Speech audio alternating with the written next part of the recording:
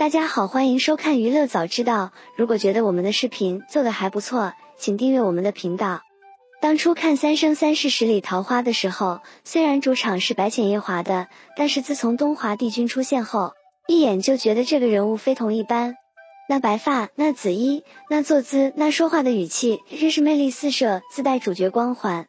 没有看过原著的我，那时候还不知道他后来和白凤九的戏份，更不知道还有第二部是专门来写他的爱情的。所以枕上书开播的时候，只要更新我都会看看。这一看，觉得帝君虽然贵为天地共主，平常都是高高在上，什么都不在乎的模样。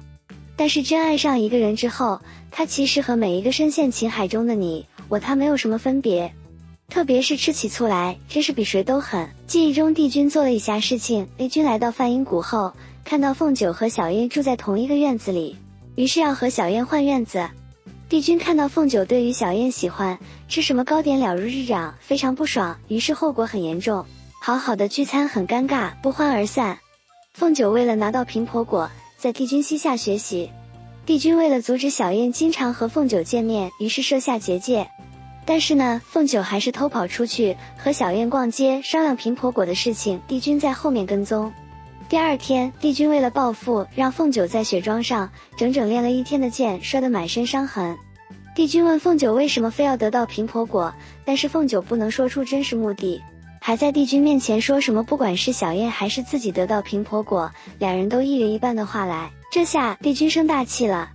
后来姬恒又以治病为由要这平婆果，所以帝君把平婆果给了姬恒。这让赢了比赛的凤九伤心不已，只能独闯蛇阵拿到平婆果。没想到困于阿兰惹之梦，这件事情帝君做的确实不靠谱。小九为了拿到平婆果，那些时日几乎是天天练习，认真努力。想起要在雪桩上练剑那么滑，还要蒙上眼睛，出席者铁定是摔得满身伤痕。凤九没少吃苦头，可是付出了这么多，千辛万苦期待已久的平婆果，就这么轻而易举被帝君换成一筐蟠桃。